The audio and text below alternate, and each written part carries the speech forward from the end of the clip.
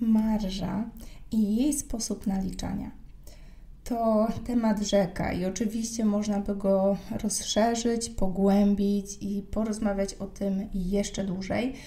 Ja będę pilnowała formatu. Ma być krótko, zwięźle i na temat, zahaczenie o kilka tematów, także zachęcam Cię, jeżeli coś przykuje Twoją uwagę albo będziesz chciała, chciał dopytać, podyskutować, wyrazić swoją opinię, pogłębić temat, śmiało pisz na agnieszkamałpaoplotki.pl. Ja dzisiaj powiem bardzo krótko, po to, żeby tylko dotknąć tematu i tak trochę zasadzić ziarenko w Twojej głowie, żeby zwracać uwagę właśnie na marże. Na ten temat było dużo, jest dużo w internecie, jest bardzo dużo też sprzecznych, różnych, mm, takich kontrastowych opinii. Ja spróbuję podać Ci jakby swoje, mm, swój tok myślenia na temat marży tak? No bardzo często mamy, ile powinna wynosić taka marża i głównie pojawiają się pytania w kontekście, ile na przykład powinna wynosić obniżka ceny. Na przykład przy takich akcjach jak Black Friday, tak? Czy ja mam mieć cenę poniżej kosztów, tak? No bo skąd biorą się te wszystkie wielkie przeceny, minus 50, minus 70%, tak? Bardzo często twórcy pytają, jak to w ogóle, czy to w ogóle ma sens. No ale oglądając ten szał Black Friday'owy, zaczynam się zastanawiać, czy ja też powinnam, czy powinienem, czy jednak nie. No i przyznam, że odpowiedź to będzie bardzo subiektywna, tak? Że, także podzielę się, jak to robię u siebie, ale pamiętaj, że każdy model biznesowy jest inny, więc warto zadbać, żebyś przemyślała sobie swoje cele finansowe i dopiero na tej podstawie wyznaczała sobie ostateczne takie ceny czy promocje, a co za tym idzie, żebyś wiedziała, jaka jest Twoja marsza. No właśnie, ile powinna wynosić marsza? Właściwie nie ma jednej dobrej odpowiedzi, tak? I nie chcę Cię tutaj zostawić z tak zwanym to zależy, więc, więc spróbuję dotknąć tematu. Rzeczywiście jest tak, że należy wziąć pod uwagę przede wszystkim Twojego klienta.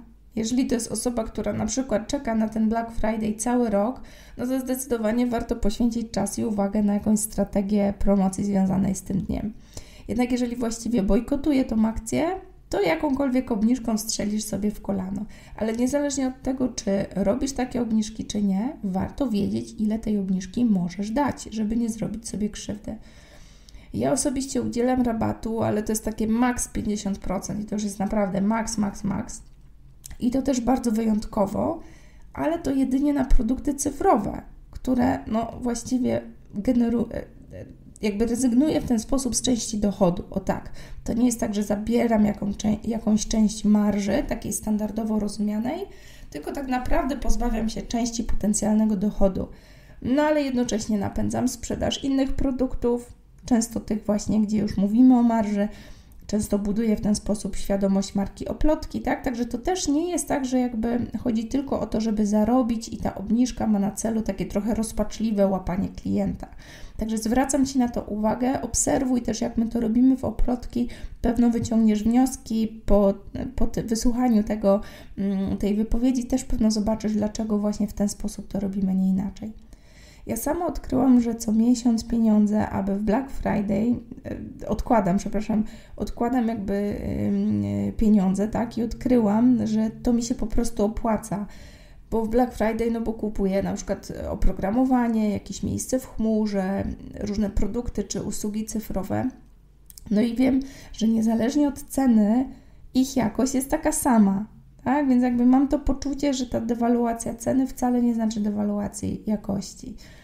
E-booki to zazwyczaj doczytuję jeszcze na następne święta, bo u mnie to jest jakaś taka zawsze dzicz zakupowa e, właśnie. E, to się cieszę, bo tak sobie regularnie odkładam, odkładam, odkładam i to jest taki moment, kiedy mogę to wszystko wydać. Ale jest to zamierzony zabieg, tak? Więc warto się zastanowić, czy Twój klient też tak robi, czy właśnie wręcz odwrotnie bojkotuje Black Friday, tak? Ale promocji na produkt fizyczny raczej w oplotki nie znajdziesz. Ja wychodzę z takiego założenia, że nie będę obniżać ceny, bo materiały i czas pracy nad produktem się nie zmieniły, a marża nie jest piorunująco wysok na wysokim takim poziomie, przynajmniej w naszej sytuacji. Nie mamy tutaj wysokiej marży na produkty te fizyczne, typu na przykład boksy z naszymi materiałami do kursów, ponieważ są to takie produkty komplementarne. My raczej skupiamy się na sprzedaży kursów, warsztatów online, właśnie takich skalowalnych cyfrowych produktów. Więc dla mnie obniżka nawet o 5-10% mm, nie wiem, czy skusiłaby osoby polujące na te promocje Black Friday, tak? gdzie tutaj mamy właśnie te obniżki rzędu 50-70%, a dla mnie oznaczałaby po prostu masę pracy nad komunikacją tej obniżki. Tak? Więc takie dodatkowe koszty pracy, tak? oprócz samego rabatu. Więc kiedy ja przeliczam sobie te kilka, kilkanaście czy tam kilkadziesiąt transakcji więcej dzięki takiej zniżce, to dochodzę do wniosku, że po prostu się to nie opłaca. Tak? Nie opłaca mi się oferować promocji na każdą moją ofertę, więc zazwyczaj wybieram jakieś jeden, dwa produkty, które z lekkim ser sercem mogę przecenić. Tak? I to są właśnie zazwyczaj produkty cyfrowe. No, choćby taki e-book. No, teraz też często mówię w kontekście e-booka, na przykład Pokochaj wycenę rękodzieła, Raz nam się chyba właśnie zdarzyło, że też ten e-book był bardzo mocno przeceniony w Black Friday. Raczej tego nie robimy, ponieważ jest to taki temat, do którego warto zaglądać cały rok, więc też nie chcemy go uzależniać. Nie chcemy, żeby była taka sytuacja, że ktoś czeka na obniżkę do Black Friday i przez to nie zajmuje się tematem, więc też e, bardzo mm, jakby mm, z dużą uważnością wybieramy, jaki produkt jest w takiej promocji. Zazwyczaj e, staramy się tutaj gdzieś e, proponować takie produkty, jak na przykład Biblioteka Akademii Rękodzielnika. To jest taki produkt, który zbiera wszystkie nasze kursy i to jest zazwyczaj też taka okazja, gdzie można go wyrwać po prostu taniej.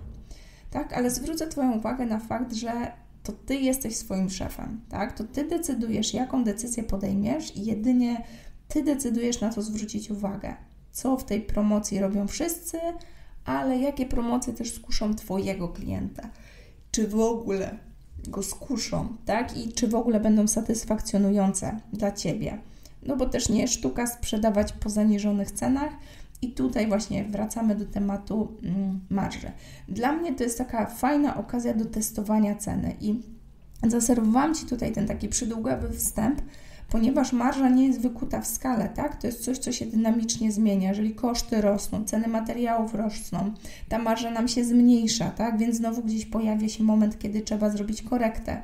Jednocześnie, jeżeli nagle podniesiemy ceny naszych produktów, no to możemy odstraszyć istniejących klientów. Mówi się, że jeżeli podniesiemy ją o więcej niż 10%, to właściwie walczymy już o zupełnie nowego klienta, tak?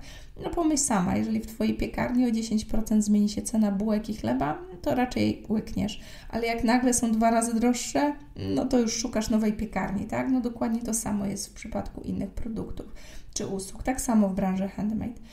Więc jeżeli uważasz, że Twoja cena jest wysoka i po wykluczeniu jakichś innych powodów, tak już tutaj omawiam je też w innych punktach, także dzisiaj już nie będę nurkować, tak, ale są powody, dla których warto, żeby ta cena była wyższa niż przeciętna.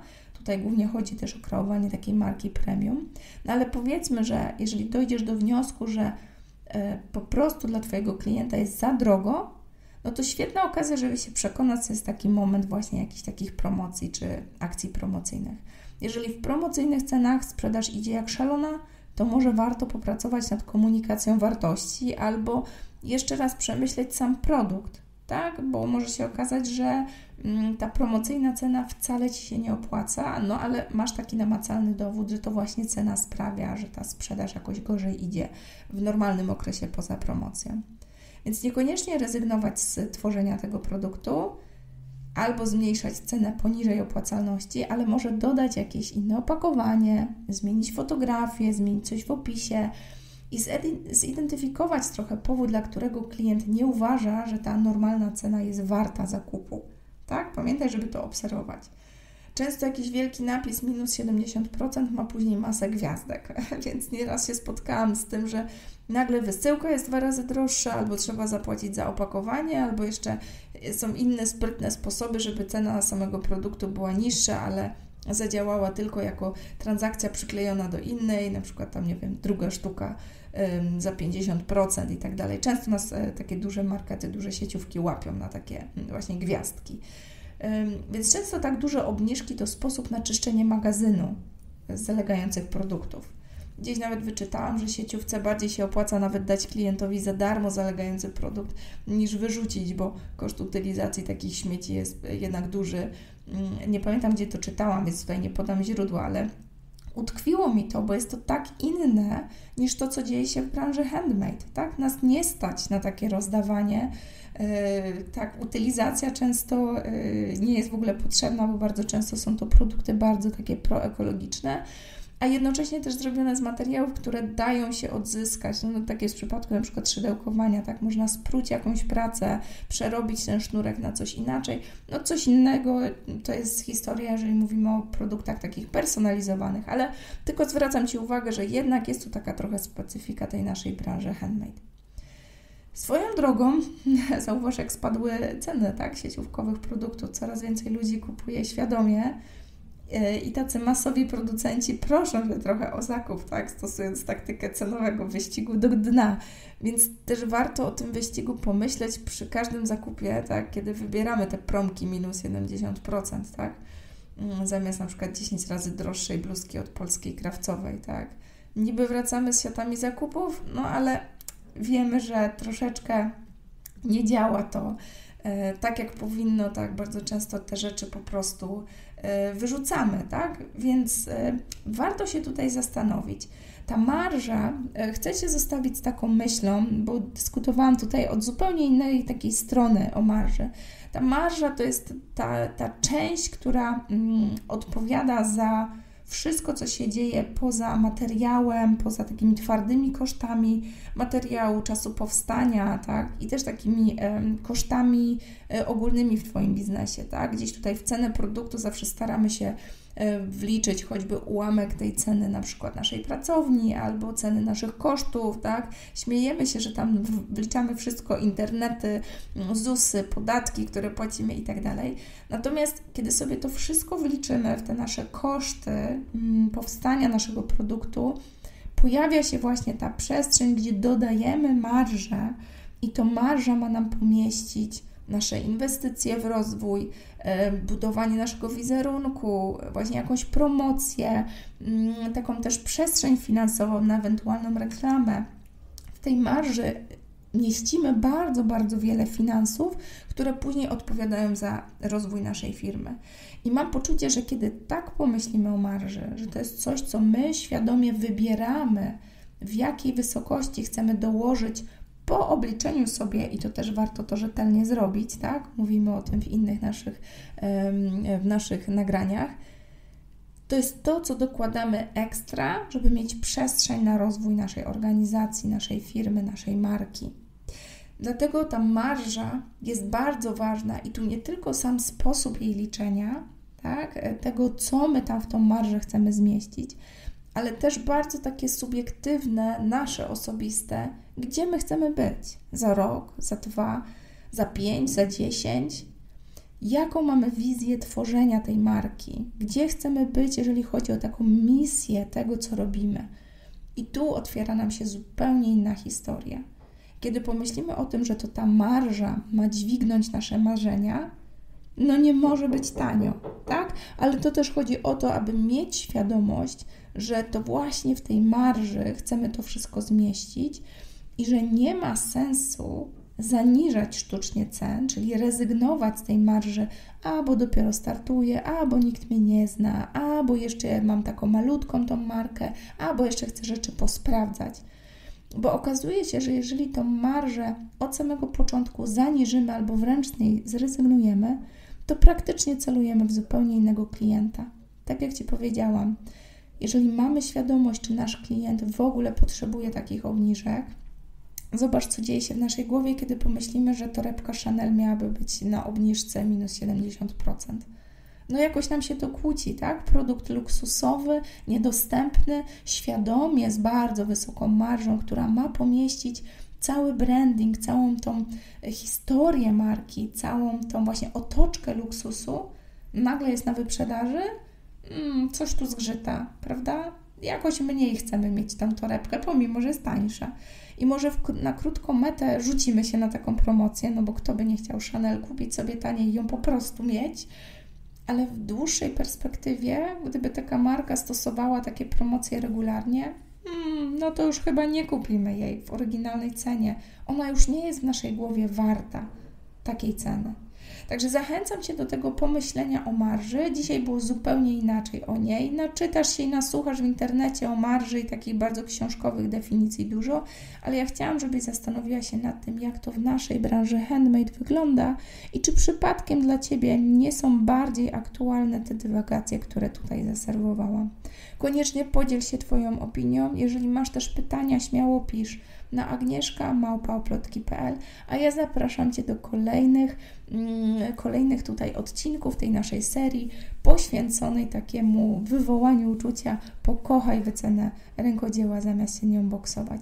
Jeżeli czujesz niedosyt, bardzo wiele z treści, które Ci tutaj serwuję, znajdziesz też w naszym e-booku Pokochaj wycenę rękodzieła oraz pogłębione w kursie o tej samej nazwie na oplotki.pl łamane przez sklep.